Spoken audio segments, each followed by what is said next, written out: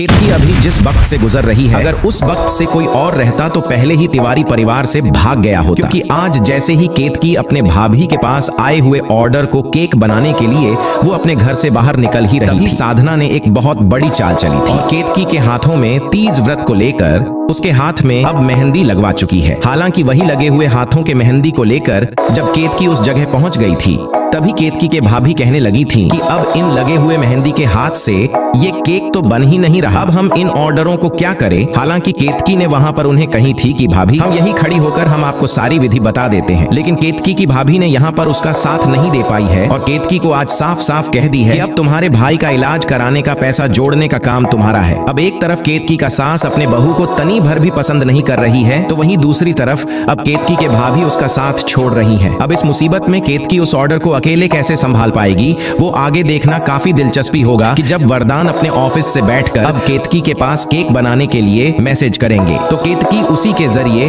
वो अपना पूरा ऑर्डर को संभाल लेगी। लेकिन वही दूसरी तरफ़ ये देखा जा रहा है कि अब केतकी के वरदान के रास्ते से हटाने के लिए साधना और कालिंदी मिलकर एक बहुत बड़ा साजिश रचेंगे। मगर इस साजिश के जाल में हो सकता है कहीं साधना खुद न फंस जाए। केतकी के नज़र में और जल्द ही आएगा वरदान के पापा का सच्चाई। लेकिन ये आगे आने वाला वक्त बता पाएगा। लेकिन आगे के अपडेट के लिए आप हमारे साथ जुड़े रहिए।